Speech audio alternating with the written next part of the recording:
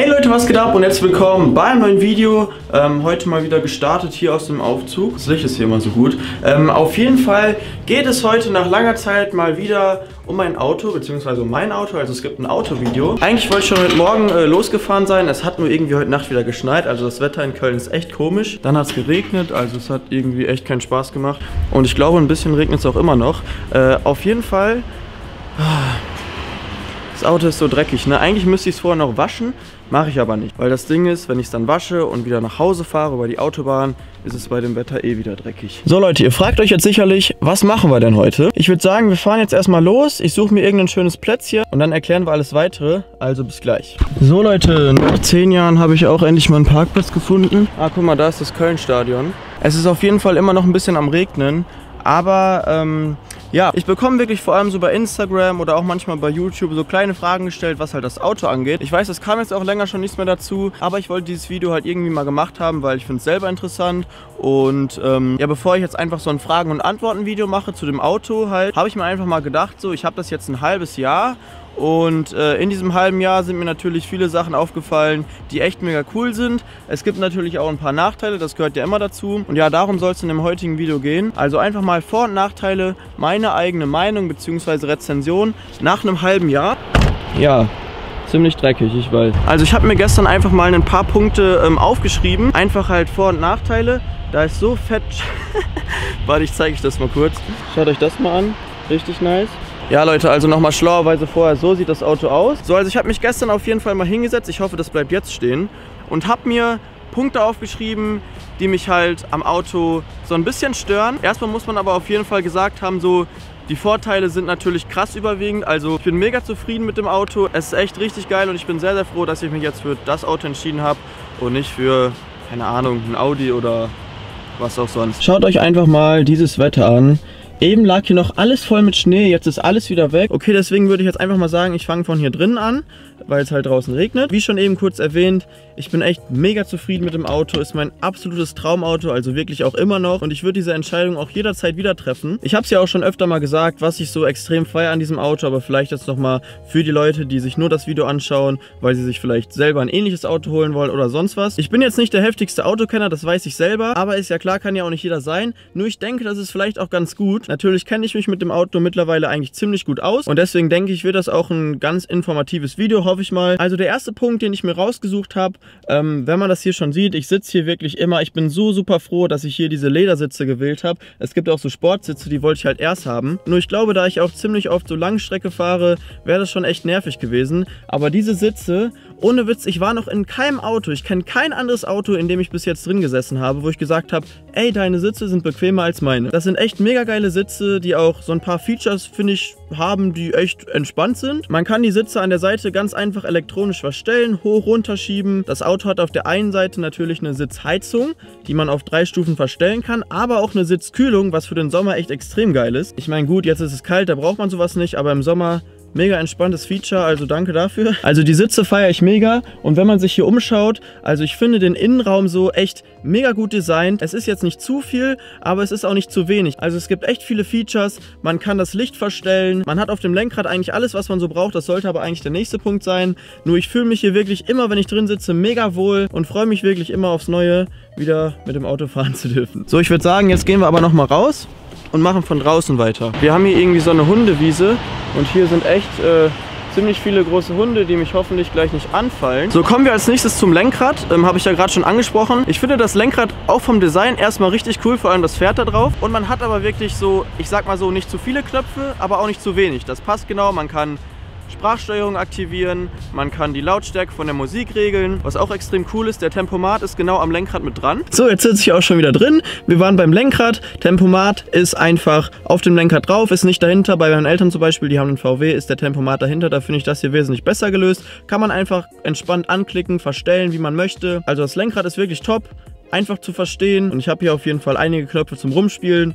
Also das feiere ich auch sehr. Was man hier dann auch wirklich sagen muss, viele haben ja immer so oder denken so Sportwagen, hm, der Kofferraum ist extrem klein. Ist ja auch verständlich. Ich meine, es gibt viele gute Beispiele, wo der Kofferraum sehr klein ist. Hier muss man allerdings sagen, der Kofferraum ist wirklich extrem groß. Das hätte ich selber nicht gedacht, dass da so viel reinpasst. Also ich würde schätzen, da passen auf jeden Fall ja so gut sechs Handgepäckkoffer rein. Man könnte sonst auch noch einfach die Notfallsitze hinten umklappen. Dann hat man noch mehr Platz. Also man könnte auch keine Ahnung, irgendwie so ein Brett hier durchschieben, wäre auch kein Problem. Ich glaube, ich war eben noch beim Premium-Paket stehen geblieben, da habe ich noch nicht so viel zugesagt. Also hier ist das Premium-Paket 2 drin verbaut, kostet ungefähr 2000 Euro mehr. Man hat dann allerdings noch einige extra Features, also das lohnt sich wirklich sehr. Wenn ich dann jetzt zum Beispiel an einen AMG denke oder so, da kann man ja wirklich noch echt eine Menge Geld ausgeben, um alle Features drin zu haben. Hier gibst du 2000 Euro mehr aus und hast eigentlich alles, was man so wirklich braucht. Das ist schon echt gut und ich finde, wenn man sich dann das Auto holt, sollte man auch darauf achten, dass das Premium-Paket mit dabei ist. So, jetzt fällt mir auf, ich könnte eigentlich auch wieder rausgehen.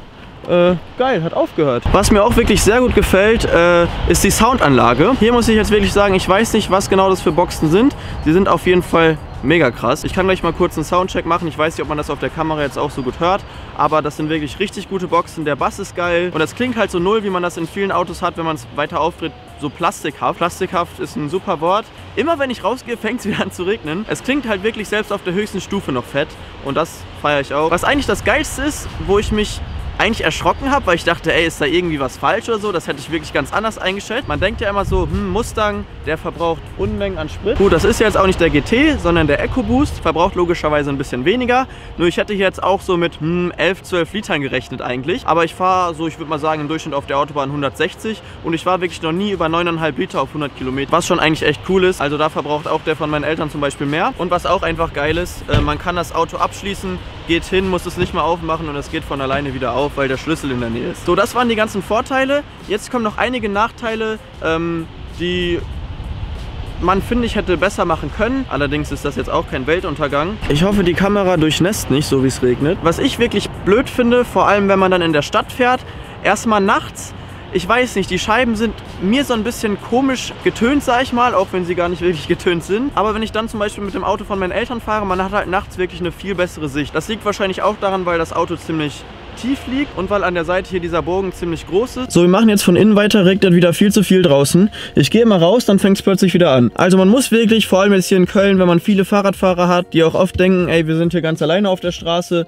man muss um sich schauen und äh, auch gut mal einen Schulterblick machen, weil hier einfach die Rundumsicht, finde ich, nicht so gut ist. Aber was will man auch erwarten, wenn ein Auto halt relativ weit unten liegt, die Scheiben jetzt nicht besonders groß sind, ja, dann sollte man sich nicht so ein Auto holen, ist klar. Was ich dann aber wirklich sehr schade finde, ich glaube, das hätte man auch noch einbauen können. Nur, ähm, ja, wenn man sich mal die Schnauze anguckt vom Auto, die ist so lang. Hinten ist ein Pieper drin, vorne nicht. Ich glaube, das wäre besser, wäre vorne einer drin und hinten nicht. Vor allem, wenn man halt hier in Köln durch Parkhäuser fährt oder so. Die sind oft sehr eng, vor allem die in der Innenstadt. Da wäre es schon manchmal cool, einen Pieper halt vorne auch drin zu haben. Gibt es wahrscheinlich auch noch einen Fachausdruck für, kenne ich nicht. Schönen guten Tag. Man lernt das zwar mit der Zeit abzuschätzen, aber äh, ja, ist halt trotzdem manchmal ein bisschen nervig und man muss sich da ziemlich oft konzentrieren, dass man halt wirklich um die Kurve kommt. Kommen wir zur Sprachsteuerung, da habe ich mich auch sehr gefreut, dass das hier drin ist. Ich muss nur sagen, diese Frauenstimme, die da labert, die fuckt mich wirklich so ab. Also die Sprachsteuerung ist wirklich das, was mich an diesem Auto so dermaßen ankotzt und auch ziemlich oft schon richtig aggressiv gemacht hat. Also erstens versteht die mich gar nicht immer und zweitens labert die so viel unnötiges Zeug, dass man wirklich abgelenkt ist von der Fahrbahn. So Leute, ich zeige euch einfach mal kurz die Sprachsteuerung. Dazu drückt man einfach hier auf diesen Knopf. Ein Kommando bitte. Ich sage jetzt einfach mal irgendwas, bla bla bla, anrufen, los, beeil dich. Ich habe Sie nicht verstanden.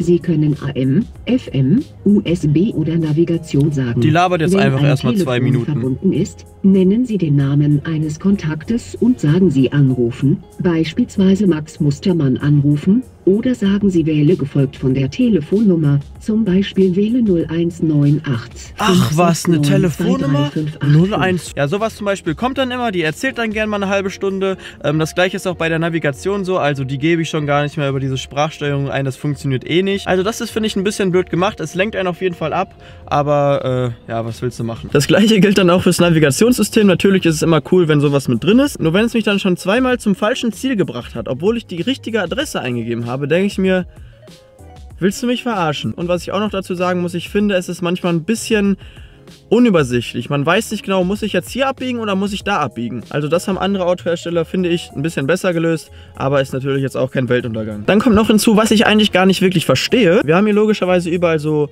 Abdichtungen, auch hinten am Kofferraum. Nur vor allem hier am Rand wird das Auto irgendwie extrem schnell dreckig. Ich weiß nicht, woran es liegt. Man muss halt, wenn man dann in die Waschstraße fährt, auch mal schön hier diesen diesen Rand hier putzen, weil sich da, wie auch immer, ziemlich viel Dreck ansammelt. Das gleiche gilt auch für den Kofferraum. Da ist es auch oftmals so, dass sich da halt so ja, Blätter verfangen. Ist ein kleiner Nachteil, muss man jetzt eigentlich gar nicht groß drüber meckern. Ist halt einfach so. Dann, was ich witzig finde, der Tankdeckel, selbst wenn ich das Auto abschließe, kann man den Tankdeckel öffnen. Also es könnte nachts irgendein Vogel kommen und mir da sonst was reinkippen und ich würde es gar nicht merken. Nur ich habe da eine Methode gefunden, den äh, abzudecken, auch wenn das Auto halt dann abgeschlossen ist und irgendwo steht. Also meinen kann man nicht einfach öffnen, das war aber mal so. Und was mir dann auch mal aufgefallen ist, ich dachte irgendwie die Motorhaube wäre kaputt, aber das ist halt irgendwie ganz normal beim Mustang. So ab 180 fängt die halt ziemlich an zu flattern. Da kann man auch Teile einbauen, dass das nicht mehr so ist.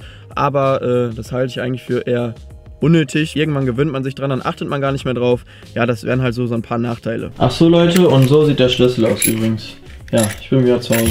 So Leute, ich bin wieder zu Hause. Es hat übelst angefangen zu regnen. Wenn euch das Video gefallen hat, lasst einen Daumen nach oben da. Wenn ihr es informativ fandet, schreibt gerne was in die Kommentare. Wir sehen uns morgen wieder. Haut rein. Ciao.